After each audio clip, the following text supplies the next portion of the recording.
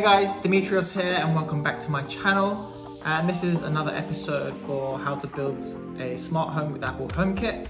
And this week's episode is going to be a short one. I'm just going to explain the benefits of geofencing. Since I installed the light switch from last episode, I no longer really touch a light switch other than the bathroom. But that's it. I leave my house and I know my lights turn off and the minute I come home, my lights turn on. So it's just a very, it's just a convenience factor. So what I'm gonna do is I have my trusty Sharpie pen and some paper, and I'm gonna just draw the explanation because I think visual cues are a lot easier to understand. That's how I learn, and I know some people benefit from that too. So let's get to it, shall we? Okay, so how does geofencing work? So I drew a little picture here. Essentially, this is your house and you, and you have all your smart home connected and everything working. So obviously you have your, your modem router, your Apple TV, it's all connected as I've shown you in my previous episodes and all your lights are as well. So when you leave your house, there is a radius of about 100 to 200 meters and you've taken your phone now. So you don't need to bother with turning off every single light switch in your home. All you do is you just leave. And because everything is connected from HomeKit with your automations, your iPhone is giving off a GPS signal, which sends that to the internet. And in turn, that's sending a message all the way back to your router and then to your Apple TV saying, oh, this iPhone is no longer in the house and it's past this distance. Then from your automations, you've told HomeKit to say, okay, if the iPhone's not here, no one's home, turn the lights off. And vice versa, as you're coming home, your phone is obviously giving off a GPS signal. The minute you come into this radius of 100 to 200 meters, it sends the signal to the internet that goes to your modem router, to your Apple TV saying, oh, this iPhone is now within range of home and it looks like you're coming home. As you're coming home, it sends a signal and it says, okay, this person's coming home turn the lights on. And obviously this is not limited to lights, it's to any device that you have connected, whether it's the kettle or coffee machine, whatever it may be, plugs for your bedroom lamps, whatever they are. Uh, it will turn everything on or automate it. You set everything within Home app, which I'm gonna show you as well. But that's essentially it. So every time I've left home, I don't need to touch my light. So I'm saving so much time. And vice versa, as I'm coming home, I don't have to walk around the house turning all the lights on. I just come home, put my shopping on the counter, for instance, and just get on with it.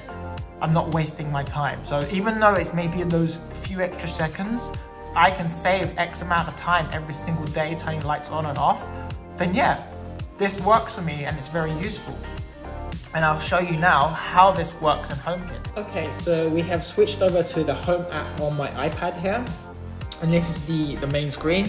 If we click on automations, you can see here if I scroll down, the last three, I have uh, my automations with the geofencing. So whenever anyone arrives home during the evening or during the day, it sets my lights accordingly. And then the last one here is when anyone leaves home, it just sets the scene to leave home. And essentially, if I go back to the home here, if I click on my home scene here, hold it down, these are all the accessories I have when I'm home. So this scene is activated when I arrive home. And likewise, the scene I have for leave home, if I hold that down, it just basically has everything off. So when I do leave home, all these lights are turned off. That's how I've set it.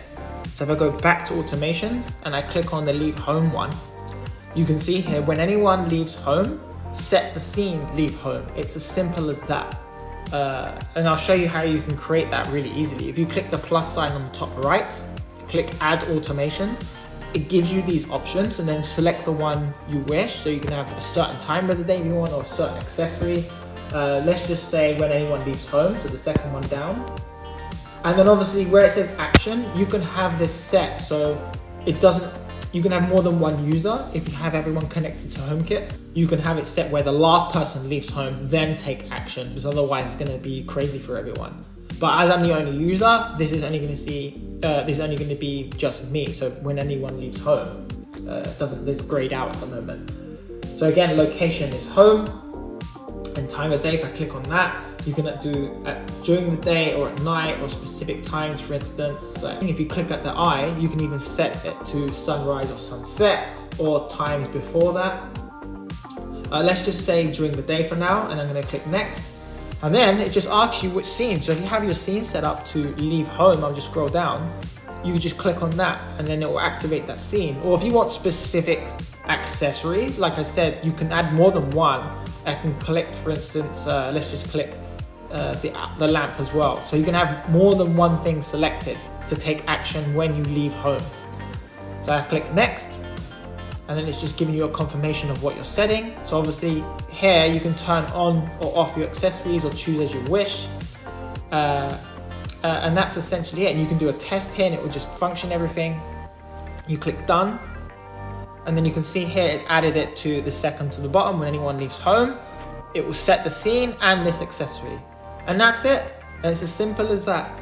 And that is the end of this week's episode, guys. I hope that was a good understanding of geofencing, how it works. It's very simple, uh, nothing special to it, and you don't need to make it complicated at all. If you do have any questions regarding geofencing or you're having trouble with it at work, again, you can message me in the comments. Me, I'd be glad to help you guys. I'm always uh, active on YouTube and stay tuned obviously for future episodes. I do have i have a lot of editing to get through. I honestly i, I can't I, I don't have a job right now. So i'm just utilizing my time in editing. I'm doing drone flying a lot. So you can check out everything. All my socials are in the description box down below. Uh, and again all the affiliate links i have it helps fund my youtube channel. Like it doesn't cost you a thing. It's just a link. And then if you buy something from from amazon then I get paid, I get a small commission from it. But there's no charge to you whatsoever and nothing is sponsored. This is out of my own pocket. I do this. And again, if you have anything specific with HomeKit, just put a comment down below and I will make that video. That is it's that easy. And I want to thank all my recent subscribers recently. Like uh, this, me doing YouTube is actually testing to see if this works. And so far it's so good. So I do see my metrics and they keep going up and I appreciate all my subscribers that are joining recently so there's more videos to come so thank you very much. And that is the end of this week's episode.